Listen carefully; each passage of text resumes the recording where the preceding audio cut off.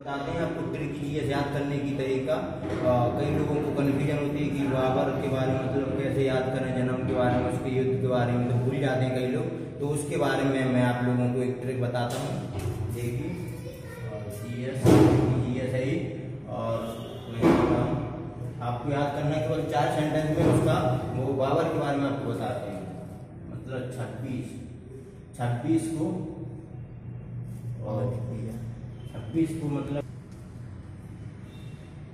छब्बीस को पानी पिया और सत्ताईस को खाना खाया। सत्ताईस को खाना खाया खाना खाया। और अट्ठाईस को चल दिया। उनतीस को उनतीस को घर गया। तीस को मर गया।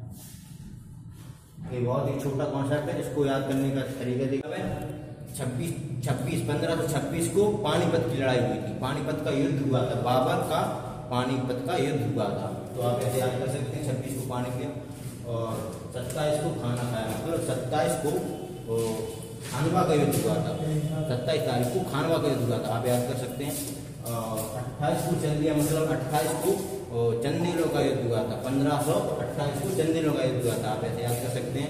बहुत ही आसान तरीका है। और उनतीस को घर गया मतलब उनतीस को घाघरा का युद्ध हुआ था। पंद्रह सौ उनतीस को घाघरा का युद्ध हुआ था। और तीस को मर गया मतलब तीस को उसकी मृत्यु हुई थी। पंद्रह सौ तीस में बाबर की मृत्यु हुई थी।